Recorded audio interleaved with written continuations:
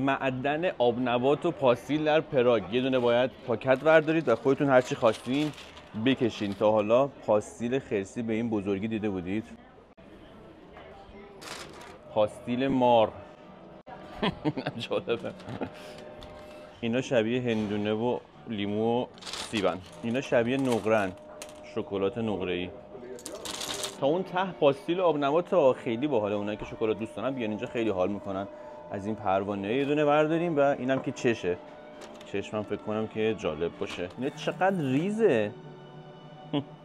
این میچرخه. اینو میچرخونید همینجوری مثلا اون یکی ها رو برام می‌دارید و گز پرچم اسپانیا بالاست. مارشمالو. شبیه توت فرنگیه. این سیاهه چیه؟ بذار سیاه رو برداریم. چه سفت هم هست. اینم شاید بد نباشه. انواع آب نبات هلو و هندونه و همین پاپ کورن پاپ کورن حالا خب نخوردم. فکر کنم جالب باشه. یه دونه هم پاستیل نوشابه بزرگ برداریم برای حسن ختام. بریم ببینیم که چقدر باید پرداخت کنیم. کیلوی 9900 کرونه. این تقریبا یک کیلو شده.